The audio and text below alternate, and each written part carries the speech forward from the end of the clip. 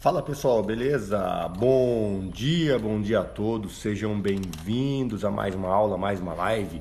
Hoje vamos falar sobre um assunto sério: emagrecimento. Como emagrecer meu pet? Como eu posso emagrecer meu pet com saúde, sem tanto sofrimento, tá? É, a gente sabe que o cão, quando ele está obeso, um cão acima do peso, ele não vive muito tempo.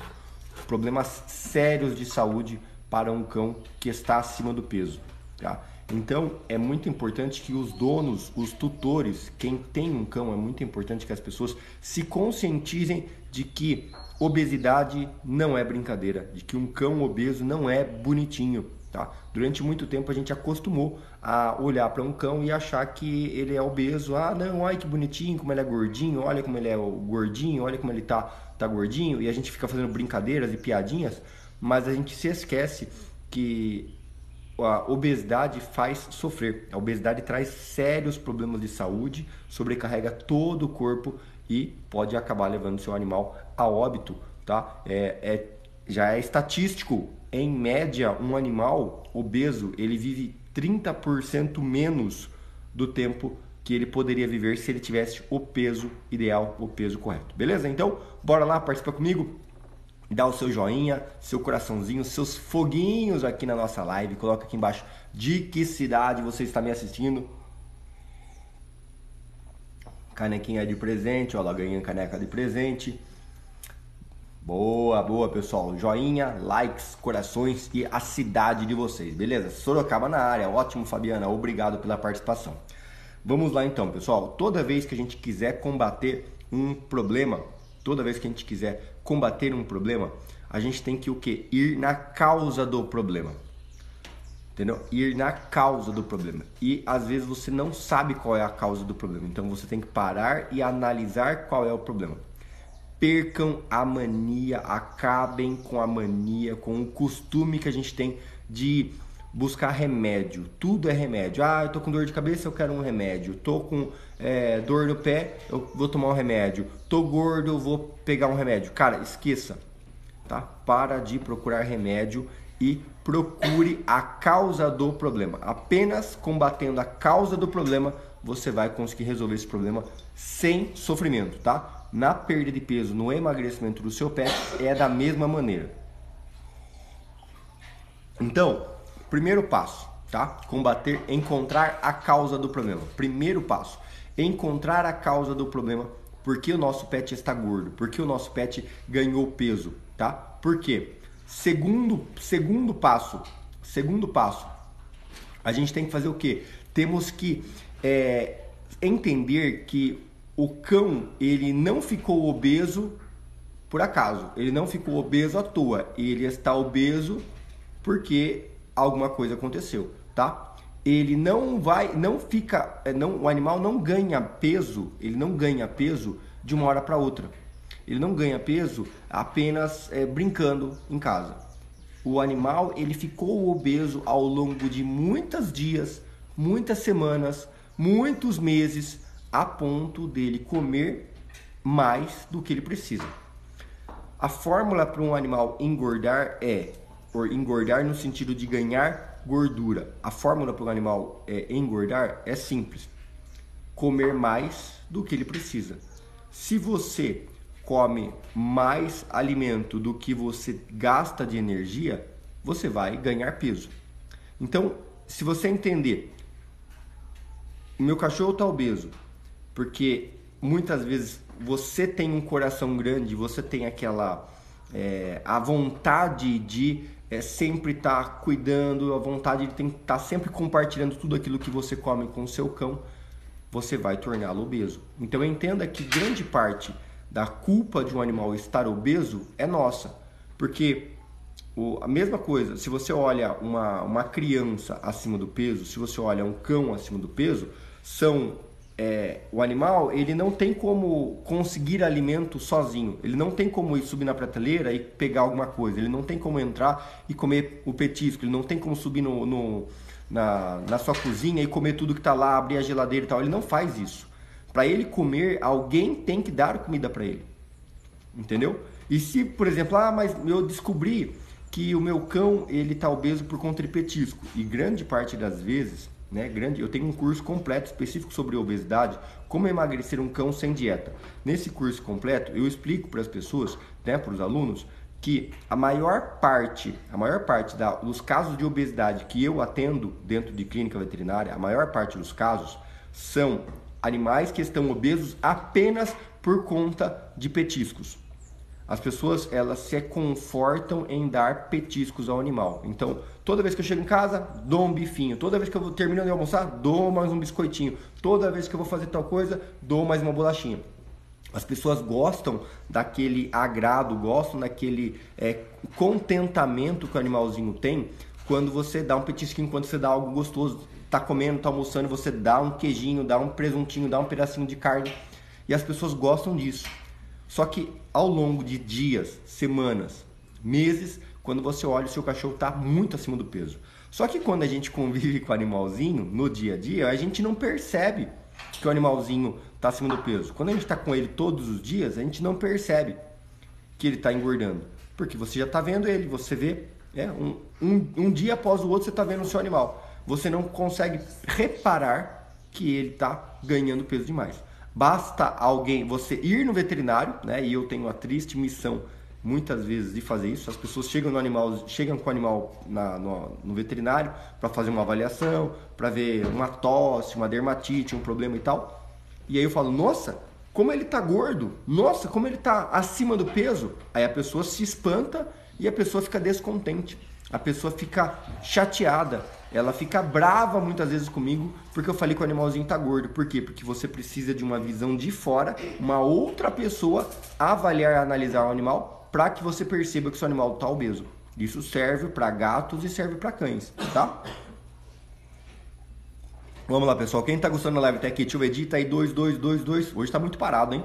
Deixa eu ver como é que tá aqui. 222, coloca nos comentários para mim. Joinha quem não deu joinha, corações quem não deu corações. Vamos fazer um acordo, pessoal. Lives gratuitas todos os dias para vocês, 7 e meia da manhã, 19 horas. Conto com o apoio de vocês, dando seu joinha e seus coraçõezinhos aqui, tá bom? Bora lá? Posso contar com o apoio de vocês? Então, olha lá.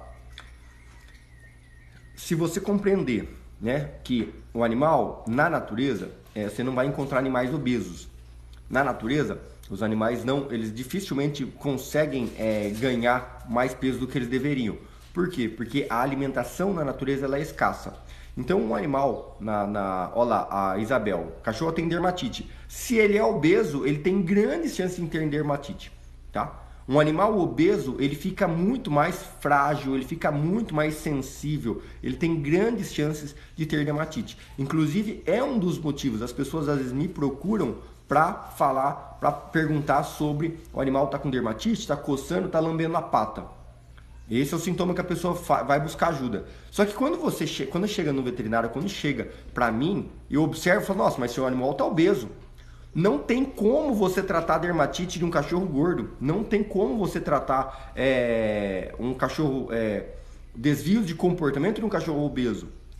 Primeiro você precisa emagrecer esse cão, entendeu? Porque a obesidade predispõe esse animal a várias outras doenças. Então, passo número um: identificar a causa, tá? grande parte das vezes a causa vem por conta de alimentos incorretos. Às vezes você dá muitas frutas para o seu cão. A fruta tem muito açúcar. A fruta também é energia e a fruta dificulta o seu cão a perder peso. Então muitas vezes você dá muitas frutas para esse cão e muitas frutas vão fazer esse cão também ganhar peso. Muitas vezes você dá muito, tudo que você come, você dá para ele. Tudo que alguém da sua casa come, dá para ele. Às vezes não é nem você, mas tem um vô, uma avó, um tio, uma tia, um filho, um sobrinho, um empregado que vê o cachorrinho e já vai lá, dá bolacha, dá biscoito, dá bolacha de cachorro, dá bifinho, dá não sei o que. Tem pessoas que me mandam mensagem, pessoas que eu faço consulta, né? Eu faço consulta diariamente pelo WhatsApp e tem pessoas que é, se orgulham. Não, doutor, mas eu dou só três bolachinhas maisena para ele todo dia. Eu dou duas bolachinhas Maria, dou bolachinha água e sal e quantas outras bolachas e biscoitos que as pessoas humanas dão pro animal. E elas acham, não, mas não tem problema, né? Ou pior, né? Às vezes as pessoas compram aquele biscroque, compram aqueles biscoitinhos em formato de ossinho, ou fazem o biscoitinho caseiro, fazem o biscoitinho com uma receita que viram na internet aí e dão pro cachorro, só que elas dão dois, três, quatro por dia pro animal. E não percebem o mal que aquilo faz. Então, para você começar a corrigir o peso do seu animal, primeiro você tem que entender por que é que esse cão está obeso. Primeiro passo. Para você corrigir esse problema, você precisa entender por que é que ele está obeso. Segundo ponto, a gente tem que começar a cortar tudo que for de alimentação externa. Então escolha. Primeiro você tem que definir qual é o alimento que você vai dar para ele. Vamos definir? Vamos. Vou dar ração. Precisa ser ração light? Não, não precisa ser ração light. Precisa ser ração diet? Não precisa ser ração diet. Precisa ser ração cara lá, obesity, é, da Royal Canin, da Rios, da Ilcanuba, da não, não precisa. Pode ser qualquer ração, mas escolha uma ração de boa qualidade e dê apenas ela, apenas ela, somente a ração, mais nada, zero. É o primeiro passo. Tá? O primeiro passo. Ah, doutor, mas meu cachorro não come a ração sem carninha, mas meu cachorro não come a ração sem misturar alguma coisa. Ali já está o motivo pelo qual ele está obeso, tá? Grande muitas vezes a obesidade ela vem por conta de manhas que esse animal desenvolve ao longo da criação, né? Então a gente, poxa, mas é pequenininho, ele é fofinho, ele é filhotinho, coitadinho, ele olha para mim com aquela carinha de dó e tal, pedindo, e você se abala no seu sentido é, emocional e você não consegue ceder, você não consegue resistir e você cede, você acaba dando para o seu animal aquilo que você não poderia dar. E aí, como você acostumou quando ele era filhote, quando ele era pequenininho, você acostumou a dar, e aí todo dia ele pede e todo dia ele dá. Se você, né, um dos dois tem que ceder, um dos dois tem que parar. Ele ou ele tem que parar de pedir, ou você tem que parar de dar. Alguém tem que pôr um ponto final, né? Porque essa relação está ficando tóxica. Essa relação entre você e seu cão está ficando tóxica, porque está fazendo mal para ambos. Porque você quer emagrecer o seu cão e você fica sofrendo porque ele não emagrece. E o seu cão precisa emagrecer porque ele está com problema de saúde. Só que ele não emagrece. Por quê? Porque nenhum dos dois, nem você nem seu cachorro, toma a atitude de chega. A partir de agora não tem mais petiscos. A partir de agora acabou todo e qualquer tipo de alimento. Você vai ter o seu alimento apenas nos horários determinados. É 7 horas da manhã, 7 horas da manhã vai comer. Deixa o alimento 15 minutos no máximo. Comeu, comeu, não comeu, tira. Não tem que manter a, não não faz cometam esse erro de deixar a alimentação disponível o dia todo.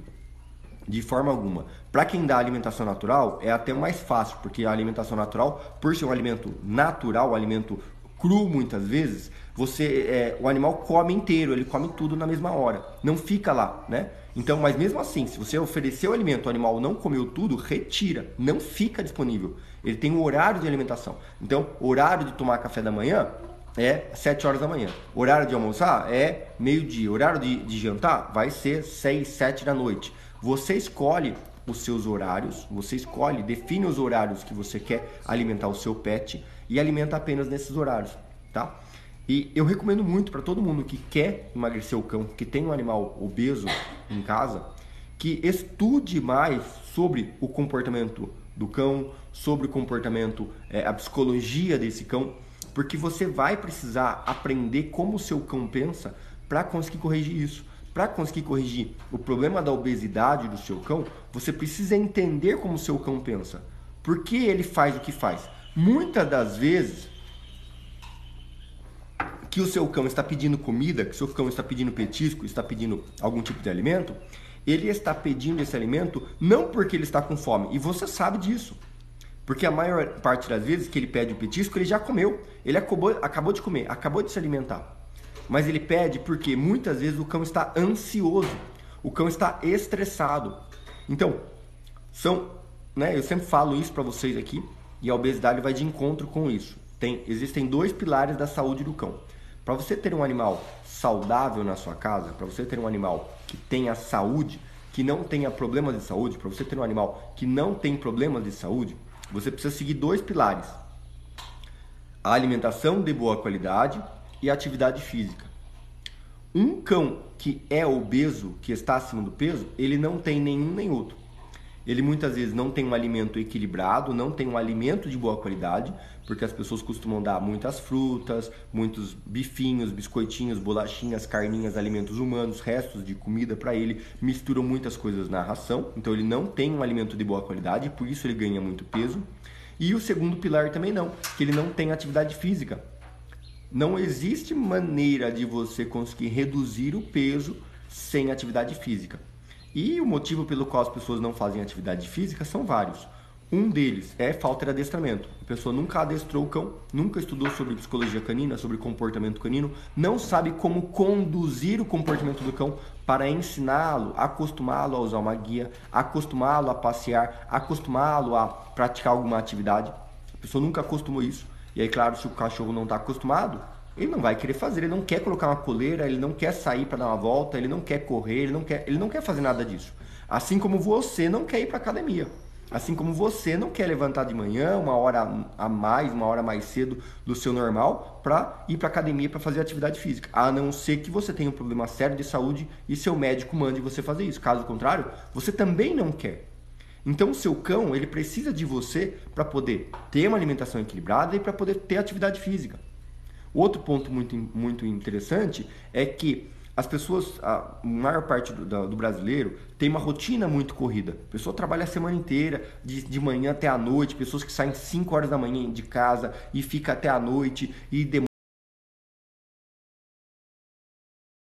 Então, ou seja, se a pessoa não tem quase tempo livre, o cachorro acaba sendo só mais um tormento. Por quê? Porque você chega em casa, poxa, né? Já tem um monte de coisa para fazer. Tem louça, tem comida, tem filho, tem marido, tem casa, tem problema do trabalho, tem um monte de coisa para você resolver. Aí você chega em casa e vê lá o cachorrinho gordo. Aí você fala: "Nossa senhora, ainda tenho que preparar comida pro cachorro, ainda tenho que pegar o cachorro, ensinar o cachorro, adestrar o cachorro e sair na rua para passear com ele para poder emagrecer esse cachorro". Então, é fácil? Não. Não é fácil. Não é fácil, mas a gente tem que temos que, que, que, que concordar que é simples. É simples. A, a, teoria ela é muito simples, na prática ela é muito complexa, ela é muito complicada, mas a teoria ela é muito simples, que é diminuir a alimentação, dê apenas a ração para ele, não dê mais nada, se você escolher o alimento natural, dê apenas o alimento natural no horário determinado, mais nada. E comece a ensinar o seu cão. Comece a adestrar o seu cão. Comece a passear com ele, dar atividades para ele. Ou uma dica que eu vou fazer para vocês, que eu vou ensinar vocês, que é comece a condicionar o seu cão a não comer o alimento no potinho. Ao invés de você chegar lá e colocar um, um potinho de água, um potinho de comida para o seu cão, a hora do alimento você vai lá e coloca o alimento no, no potinho. Ao invés de você fazer isso, você vai fazer o quê? Você vai esconder o alimento pela casa. Você vai pegar o alimento, a ração que você escolheu, o alimento natural que você escolheu, e você vai esconder pela casa. Coloque embaixo da mesa, embaixo da cadeira, atrás da geladeira, atrás do sofá, lugares estratégicos aonde ele consiga pegar. Só que ele vai ter que farejar, ele vai ter que procurar, tá? Então, isso já faz com que o seu cão ele tenha que gastar energia para buscar alimento. Isso é sensacional. Além de, além de desestressar o seu cão, vai alimentá-lo gastando energia, tá? Gastando energia.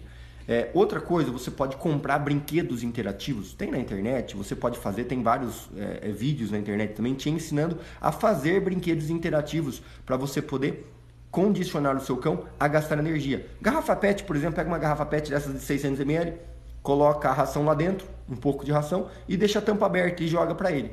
Ele vai tentar tirar aquela ração do lado de dentro e ele vai acabar virando ela para cá, virando ela para cá, cai um grãozinho, cai outro grãozinho, cai outro grãozinho, e ele vai comendo a ração aos poucos, tendo que trabalhar a mente para poder destruir aquela garrafa, para poder abrir aquela garrafa, para poder tirar a ração do lado de dentro. Você pode pegar essa garrafa, amarrar com uma cordinha em um pé de cadeira, um pé de mesa, você pode fazer alguns buraquinhos naquela garrafa para ele ter que ficar sentindo o cheiro, lambendo e tentando abrir colocar ração dentro de uma meia e, e dar um nozinho, ou colocar ali, deixar ele ter que roer, ter que. E, e várias outras, caixinha de madeira, é, caixinha de papelão. E você pode brincar com o seu cão no horário de alimentar. Ao invés de apenas colocar a ração e deixar ele comer, você esconde a ração. Você coloca a ração de uma maneira que ele tenha que farejar, ele tenha que destruir, ele tem que gastar alguma energia para poder se alimentar, tá? Isso é fundamental. Se você quer emagrecer seu cão, já é o primeiro passo para começar o adestramento, começar a condicionar o seu cão para aprender a se alimentar gastando energia. O animal só vai, só fica obeso porque ele não faz atividade física, ele não anda, ele não, não, é, ele não tem quase movimentação, ou porque o ambiente é muito pequeno, ou porque o animal é, ele é castrado, ele não tem estímulos para ele poder fazer essa atividade física, ou porque ele realmente fica o dia inteiro cansado, o dia, inteiro em casa sozinho e ele não tem interação, então ele fica lá entediado e ele fica pedindo alimento, ele fica comendo por ansiedade. Porque, puxa vida, que hora que meu dono vai chegar? Nossa, que hora que meu dono vai chegar? Que hora que vai chegar alguém? Porque ele está se sentindo sozinho, ele está lá é, é quieto. Então, você tem que compreender os gatilhos que estão levando o seu cão a ter obesidade para você conseguir corrigir. Existem cães obesos por caráter hormonal. Sim, desequilíbrio hormonal pode acabar tendo obesidade. Só que a obesidade não coloca alimento na. Ah, só que o desequilíbrio hormonal não coloca alimento na boca dele. Ele fica mais ansioso, ele fica com outras alterações hormonais, retendo mais líquido, retendo mais células adiposas. No entanto, se ele não tiver o alimento disponível, ele não come.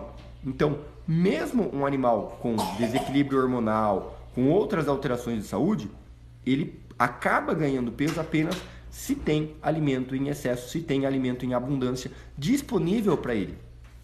E esse é o detalhe que a gente tem que compreender. A parte da nossa responsabilidade para com o animal, para que a gente consiga é, reduzir o peso. Então, entendeu que você está dando coisa, coisas demais para ele comer? Ótimo.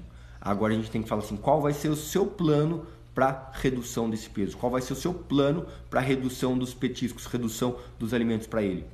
Converse com toda a família. De preferência, pega essa live e compartilha já com a pessoa que você sabe que, que tem um animalzinho obeso, com a pessoa que convive com você, que você sabe que dá o, animal, o, o alimento para ele, para o animalzinho, que cede. Porque eu sei que crianças é sempre complexo, né? Porque a criança não entende que não pode dar, né? E muitas vezes o animalzinho é muito esperto, vai lá e rouba da mão da criança, principalmente criança pequena, ele rouba da mão da criança, pega na mão da criança, a criança está comendo, ela derruba, e aí o animal acaba comendo mais do que ele deveria. Outro ponto é pessoas idosas. Pessoas idosas também dificilmente compreendem, né? Porque para elas, muitas vezes a gente fica pensando, nossa, a vida é tão curta, mas o animalzinho é tão bonzinho, mas coitadinho, por que fazer isso com ele? E acabam cedendo, né? Muitas vezes ao cão. E a gente às vezes tem que dar um chacoalhão forte, firme, para mostrar a importância e a gravidade do problema que aquela obesidade, que aquele problema de excesso de peso no cão pode trazer. Então, às vezes, eu já tive, né, dentro do consultório, conversas sérias com algumas pessoas, né, que eu pedi para trazer os familiares para que eu pudesse conversar e explicar, olha, o Bob está morrendo. O Bob vai morrer. E ele vai morrer por conta daquela bolachinha que vocês estão dando, por conta daquele petisquinho que vocês estão dando. E realmente isso é sério, né? O excesso de peso diminui em 30% o período de vida do animal. Então, assim, de forma resumida, para vocês terem um passo a passo, para vocês começarem o emagrecimento, tá? Vocês não vão aprender tudo em uma única live, tá? Uma live curta, apenas para introdução de vocês. Recomendo, para quem puder, vem para o nosso Clube Dica do Veterinário. Vem fazer nosso curso completo para você entender todas as outras estratégias que você pode utilizar para reduzir o peso do seu cão. São várias estratégias que você pode utilizar para reduzir. E assim, não precisa ser ração light, não precisa ser ração obesity, não precisa ser nenhuma ração específica. Se você já tem, ótimo, mas não é a ração que emagrece o seu cão. Tá? É a rotina da casa, é a união dos familiares para com o cão, entendendo a importância de emagrecer, entendendo quanto de peso ele precisa perder e criando uma meta para que ele possa emagrecer. Então, fica o meu convite. Quem quiser aprender mais sobre isso, quem quiser se aprofundar sobre isso, precisa vir para o nosso é, Clube Dica do Veterinário. Só acessar o nosso site dicadoveterinário.com, tá? É, Clube Dica do Veterinário é acesso, é a, é a, liberação de acesso a todos os nossos cursos, tá? Entre os nossos cursos a gente tem esse curso de obesidade como emagrecer um cão sem dieta, apenas mudando rotinas da casa e criando interações é, em casa, você consegue emagrecer o seu cão, tá? Como emagrecer um cão sem dieta está dentro do nosso Clube Dica do Veterinário. Esse mês a gente está com a campanha promocional do Clube do Veterinário. Então você paga apenas 20 reais, pagamento único de 20 reais, você tem 30 dias de acesso às aulas. Depois que acabou os 30 dias, se você quiser continuar assistindo as aulas, se você não conseguiu assistir todas as aulas, basta fazer mais um pagamento e continuar mais 30 dias de acesso. E assim você pode fazer um curso após o outro. Lá dentro já tem o curso de adestramento, que você vai precisar, tem o curso de emagrecimento que você vai precisar e tem os nossos cursos base, né? A nossa metodologia que eu sempre recomendo a todo mundo, que é o nosso curso Decão e o nosso curso Manual da Pós Responsável. Então, um único pagamento você tem acesso a todos os cursos, todos os cursos, dependendo do seu tempo e tal, tá? Conforme você vai avançando, você pode ir pagando mês a mês e assistindo cada vez mais aulas, tá? Lá é o nosso Clube Dica do Veterinário, tá bom? Marilândia, que fez a pergunta aqui pra gente. E lá tem cursos também sobre pulgas, carrapatos, doença do carrapato, como limpar o ambiente, como acabar com os, os parasitas do animal. São todos os nossos cursos. São mais de 20 treinamentos, mais de 20 cursos. Eu acho que vai dar mais de 500 aulas lá dentro. Tá? São muitas aulas, muitas aulas mesmo, porque tem cursos nossos que já tem mais de 100 aulas. Então, acredito que vai dar em torno de mais de 500 aulas lá dentro do nosso curso, do nosso clube Dica do Veterinário, tá? Então por isso que eu digo, apenas um valor. Você vai pagando mês a mês, vai assistindo as aulas no seu tempo, na sua forma, como você, conforme você preferir. Beleza? Quem gostou da live aqui, deixa eu ver, digita aí 10, 10, 10, 10, 10. Deixa eu ver, alguém mandou pergunta pra mim aqui. Uh, tem um dogo argentino, ele tem obesidade e dermatite atópica. Passei com ele todos os dias. Ela come ração, exatamente como manda as instruções. Nada de resultados. Pois é, Antônio.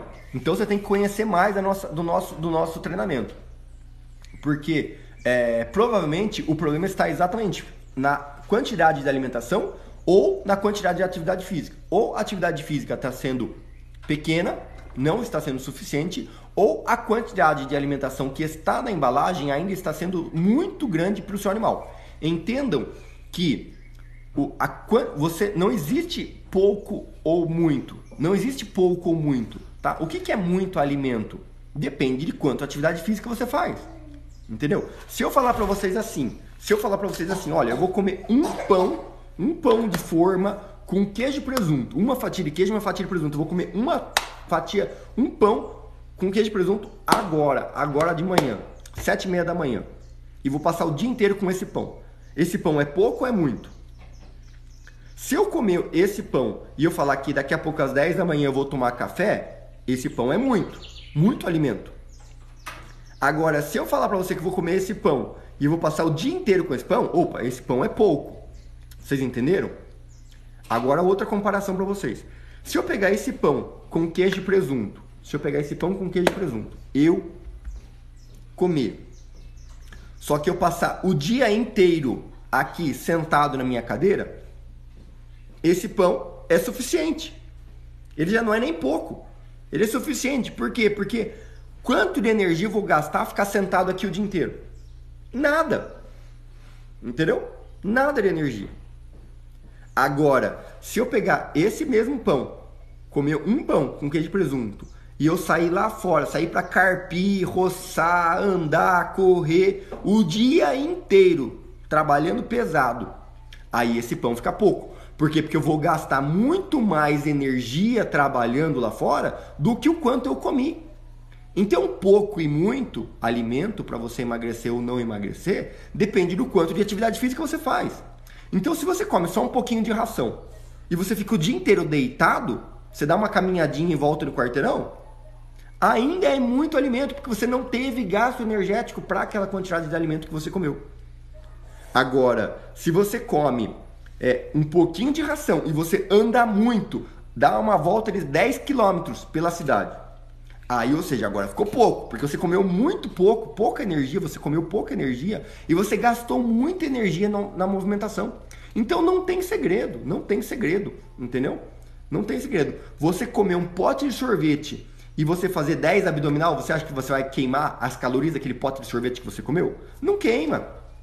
Entendeu? Agora você comer um pote de sorvete e você passar 10 horas malhando na academia, aí talvez você tenha queimado as calorias de um pote de sorvete. Vocês entenderam? Se vocês olharem lá no verso do pote de sorvete, tá marcado o que na embalagem? Quantidade de quilocalorias. Quantas calorias tem um quilo de sorvete? Então, sei lá, sei lá, vou chutar aqui. Vamos supor que tenha 20 mil calorias um pote de sorvete. 20 mil calorias. Valor aleatório aqui tá? Só para exemplo.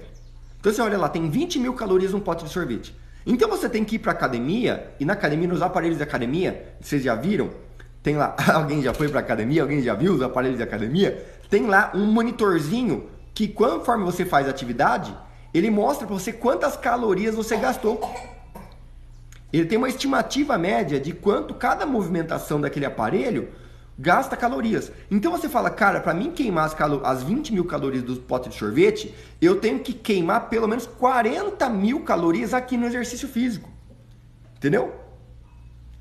Então, pro cão, você falar, eu estou fazendo a dieta e não está funcionando, estou fazendo a dieta e não está reduzindo, é porque você não está sabendo conduzir essas regras de emagrecimento você está fazendo pouca atividade física ou está comendo muito. Apesar do que você acha que é pouco, ainda está sendo muito pela quantidade de atividade física que o animal está fazendo.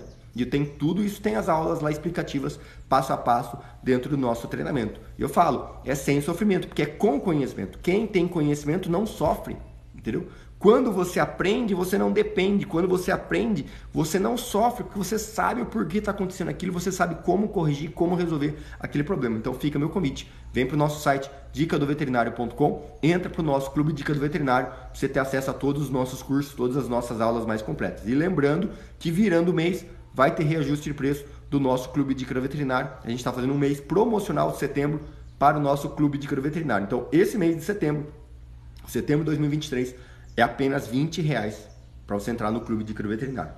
E agora, em outubro, dia 9 de outubro, a gente vai abrir as inscrições para o nosso grupo VIP, tá? Eu acho que talvez até isso, até que, a, que a, alguém mandou mensagem aqui perguntando para mim do grupo.